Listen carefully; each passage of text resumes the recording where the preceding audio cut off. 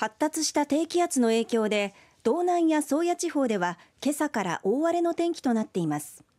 午後からは札幌など道央でも暴風雪に警戒が必要です。道内では午前中道南や宗谷地方で強い風を伴った雪が降っています。いつから雪かきやってるんです？時間はね朝の5時から。足腰大丈夫ですか？痛くない？痛い稚内の宗谷岬では午前9時前に28.7メートルの最大瞬間風速を観測。国道238号線が通行止めとなっているほか稚内空港は終日閉鎖となっています。戸口がすごく雪積もってて全然もう無理です。